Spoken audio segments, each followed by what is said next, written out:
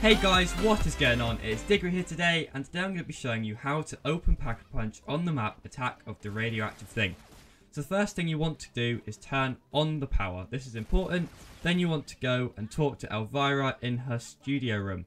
She's going to tell you to go and get a spell book. You want to then go back to the gas station and next to the skull hop machine there'll be a panel that's opened. Grab the spell book and then you want to take the spell book back to Elvira. Once you've done this, she will talk for a bit and then she'll give you a vial.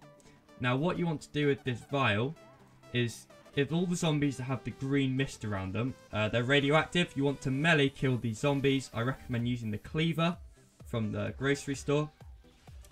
Um, you want to collect their radioactiveness. These Crogs are also very, very good at filling up the vial.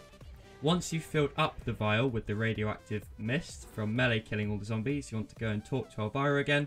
She'll talk a bit more and then she will jump out and start helping you out with killing zombies, just like David Hasselhoff and Neil.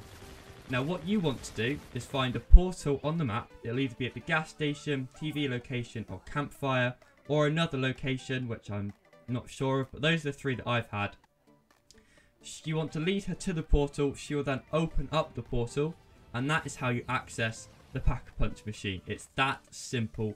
Really, really easy to do.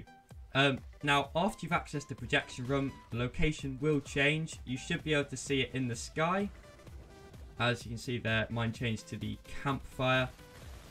But yeah, that's Thanks for watching. That, that's how you open the Pack-a-Punch in the map attack radioactive thing. So yeah, this has been Diggory. If you liked it, please leave a like. If you want to see more gameplay, please subscribe down below. And I'll see you in the next one. Bye.